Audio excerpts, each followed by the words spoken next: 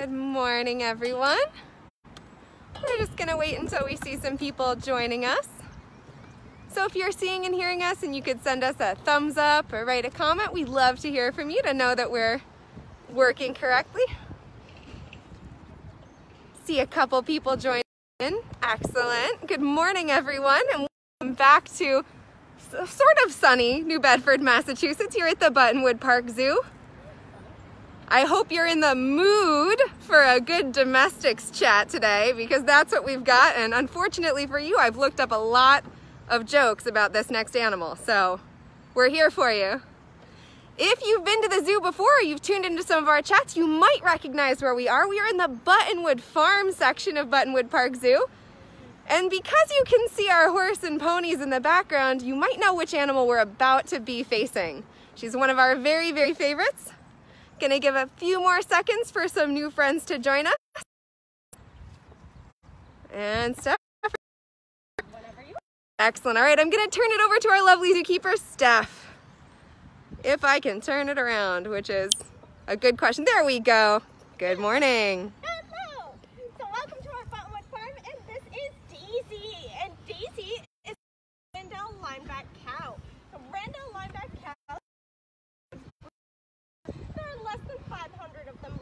World today. And these guys were founded, uh, they were cows are bred um, in the 1800s. So these guys are one of the oldest species of cows here in uh, the United States, and they are uh, were originally from New England. So they're very special to us here locally because they are a New England breed. Um, and they were originally more used in Vermont. And these guys are good general purpose cows. So originally, not Daisy here obviously, they were for meat, milk, and for plowing purposes. Daisy here has a bit of a spoiled life. She just hangs out and gets to play and enjoy the company of her friends. They're human people. So Daisy here is our only cow. Unfortunately, our other cows have since passed away um, from old age. They were all very elderly. And Daisy here is our last one, but she is 10 years old. Daisy Tiger? Good, Good. So she's a middle-aged cow. Cows usually live to about 18 to 22 years, so they have quite a range that they can live to. And Daisy here's a little bit middle-aged. That again. Hopefully you guys are still with us. I'm sorry about our technology. Our Buttonwood Farms area is unfortunately a little bit further from our internet than Facebook would currently like. I really apologize for that. Please bear with us. We'll try and keep it as adorable as possible to make up for our glitches. Oh, All right, so we're tuning back in with zookeeper Steph, who is training Daisy currently. Yes, so Daisy is a very smart lady. Cows are pretty smart. Um, they're not the smartest of animals, I'll have to say, but they are pretty quick to learn. And Daisy here is getting a couple treats as her work. She's getting squash. A couple years ago that Daisy loved squash pull out a piece. And here, she's getting big chunks, and you might be able to hear her grinding away. So cows are funky. They have bottom teeth, and their teeth, um, they have a flat top to their mouth that helps to grind things. So it's kind of gross. It's a little wavy. Um, it's a little, little chunky in there. So that's what she's doing. She's grinding her food down. And you'll notice that Daisy is exceptionally drooling. and that drool is actually because she is a ruminant and she's very excited. She gets excited, she just drools everywhere. And ruminants have a four-chambered stomach, which is lovely, and they have to actually barf up a little bit of their food and chew it up again and swallow it back down to be able to digest it. So that's how they get all their nutrients out of their food. You have said so many things that make me glad I'm not a cow. we do have a wonderful question about what else do they eat? Sure. So besides squash and other produce. Daisy here um, eats a lot of hay. She eats about 10 pounds of hay a day, but she also gets grain.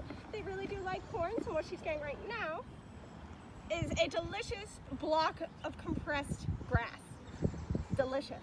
but it's one of her favorite treats. And you're really slimy. Very, very slimy. I don't know if you guys at home can see, and there's also a nice little trail of slime on the ground beneath her. Gotta love that cow life. All right, so friends, again, if you have any questions, please feel free to type them in. I'm sorry we've had a little bit of technological difficulty, but hopefully we're a little bit less glitchy now. We've we've got our first joke of the day. Whoa, what do we got? It says, "What did the coach say to the cows? Now get out there and give me two percent." That was my Great, great. That's actually really good. I gotta give it to that one. That was good. I was not expecting that. Good. I did hear one that was, "Why can you not give baby cows uh, coffee? Why? Because they're caffeinated." These are clever. Practice. You like thought him up last night. You were like, we know we're having a chat. All right. So if we have any other questions, please feel free to type them in. Hopefully we're less glitchy. I'm going to try and get some nice close-ups of our good friend Daisy as she eats. Hopefully you can hear those sounds if I stop talking. Oh, there's a nose. Here, come give a nose. Daisy, show off your adorable smile. Oh, that's an adjective combination I was not expecting. So Daisy is, as I said, a 10-year-old Randall lineback cow. Um, she has never been bred, for those of you who are wondering, and we don't plan on breeding her. She's at that age where now she's she's just content being who she is. Um, and she does enjoy her snacks and her time with her people. She loves to be brushed. Daisy is a very smart cow, and she does have a good desire for brushing and loves it. And it's a very good behavior for them. They're social animals, so we do try to do what we can to be social with her. As you can see, they have a very talented no, uh, tongue, and they can pick their noses with it. Very talented, very useful. I want all of you to try that at home. So many great skills. so, uh, one of the things about their tongue, one of the reasons why it is so long is because they eat grass as well. So, obviously, setting they're going to be eating their and their grains and their alfalfa and their delicious treats like this. Uh, in the wild, on branches and larger things, they'll be eating a lot of grass. So they use that tongue as a finger and they just rip it right on up.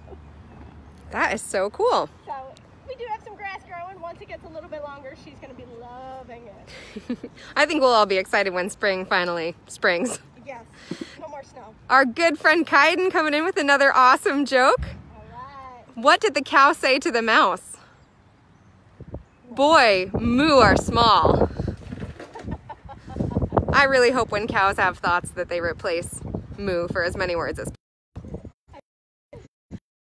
Can you tell us about some of the animals seeing in the back enclosure? Sure, so if you look, you see the, the black and then there's a wheelie green brush on the ground. Those are toys for her to scratch off her extra hair on. So cows being social, do like to groom and they do like to play. And you'll notice that she does have these lovely horns. She does use them for playing. In a herd situation, she'd be using them to help fight off other cows and to play with other cows. So Daisy here only has one horn right now. She broke the other one off, but that's okay. It's growing back, and that's perfectly normal. They do break off, and they will shed them, and they'll grow. Not like an antler per se, like it's not a regular shed, but if it breaks, it will grow back. So we have those two brushes. Um, there's a fun rolly spool back there, is what we call it. It has a hole in it, and we actually use that to put treats in, and she can throw it and push it all around the pasture because cows are really strong. They're meant to pull things, and they're a big animal. So Daisy here weighs 1,300 pounds, which is a lot. Uh, it's a lot more than I am. It's like 10 times more than I weigh. more than that. Maybe? Probably more than that. I can't do quick math. Uh, so they are big animals and they need big toys. So we're actually going to give her a big toy. Do you guys want to see her get a big toy? I'll wait for a response. You may not get one. It does look like maybe we're having a few more technical difficulties. You know, our viewers have dropped a little bit. We will be posting this afterwards, so hopefully you guys will get a second chance to watch in case things are lagging too badly. Too bad. Oh, Buttonwood Farm. Love it. But back your nose up, lady face. It's very good at Melissa, that. I'm gonna use my lovely assistant Melissa to help pass me this giant All right. box. So Daisy isn't- here loves boxes. And the bigger, the better.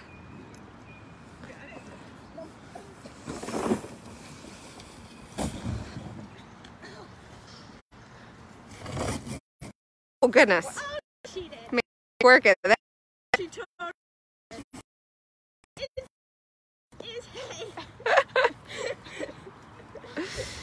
you can see how happy she is right now. She's just like, yeah, I got my. It's all good. If you want an inside scoop of what it's like to be a zookeeper, imagine creating some really massive, impressive, complicated enrichment for your animals and then having them find a loophole that takes them about two seconds to break through.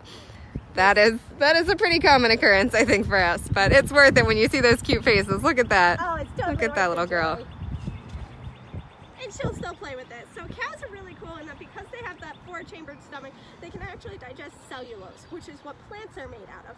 So the grasses, the leaves, all that stuff that she would be eating normally, she can digest. So that box is made out of paper, which is made out of trees, which is made out of cellulose. so she can actually eat the box. We won't let her eat the entire thing because that's a lot of food. Um, but she can, if she wants to take a couple bites out of it, she totally can. Excellent. Oh, she's getting into it. So I know since we are having technical difficulties, and hopefully you guys will go back and listen to this, but I know there are a couple questions that seem to always crop up. We do actually have one before you get started, oh, which is from Logan, age eight. An awesome question. What are their predators? That is a great question. So they're big animals, so they have really big predators. There are over 250 different breeds of cow around the world. So depending where you are in the world, they're going to have different predators. Here in the United States, the main predator that you're going to find of cows is wolves and cougars, and of course people. Get you in here as well. All right. So, do you have any other fun questions that people usually ask? So the other fun question that we always seem to get a question, I forget who says it, and I love this question. Can they see in color? So I came prepared. yes, cows can see in color, so they can actually see in a yellow and blue spectrum, but it's a lot duller than ours. So they can't see greens or reds, but they can see a little bit of the yellows and blues. And they can see in the dark because they do have a special membrane behind uh, their retina, which is part of their eye that helps them see, that reflects low gives them a quality of low light vision so they can see at night when they're in their barn munching down. Excellent. I want to give a shout out. Unfortunately, Facebook is having some issues, so it did not show me who donated, but thank you so much for your donation. We really appreciate it. And again, we're watching Daisy, the Randall linebacker, had in a giant box eating hay. And we're taking any questions. If you have any questions, please feel free to type them in. I know our internet's been a little spotty, but we do love questions. there we go. Gotta get a little help from your friends. and I'm sure this box will continue to be fun in its many states after this when she slowly destroys it. Oh, it will. She'll play with this all day. Does Daisy have a favorite keeper? What a good question. I love that one. Good question. So does, she doesn't really have a favorite keeper. There are a few of us that she prefers over others. I like to think myself, Katie and Kay are definitely some of her favorites, but I know that she does love her Bruce and Joey too. So she doesn't really have a lot of favorite people. She does have a favorite volunteer, and that would be the lovely Melissa. Favorite volunteer. I think that goes for a lot of us here. And Melissa, Melissa likes to spend a lot of time grooming her, so she has a really good relationship with her as well. Excellent. That was a great question. I love when people ask that one. Usually the answer is whoever has food. Um, but we do have some with those big personalities who, who have their favorites. Preferences. Excellent. Did you have any other fun facts you wanted to share with us?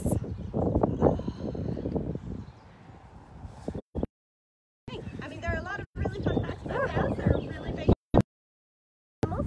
Um, Can't believe they weigh over a thousand pounds. yeah, uh, so Randall linebacks can they range from about 1,100 pounds to 1,600.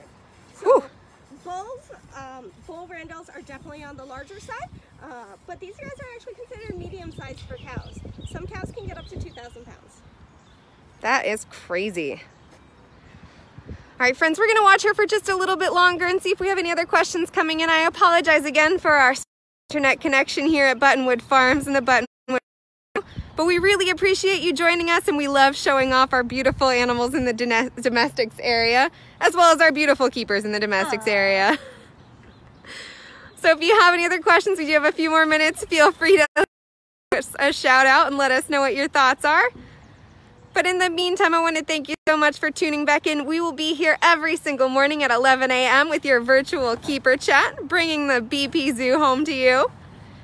And I want to give you another thanks for our person who donated to the Buttonwood Park Zoological Society, which is the nonprofit branch of the Buttonwood Park Zoo. If you're having a good time and you'd like to donate and show us your support, please click on the button below that says donate now, or you can do it by text by texting BPZoo20 to the number 41444. Thank you so much for joining us. We hope you have an absolutely wonderful day. I don't know. Any last uh, cow jokes? I don't have any good ones. Do you, Melissa? Nope, no. Do any good jokes? Maybe she's not in the mood. Have a wonderful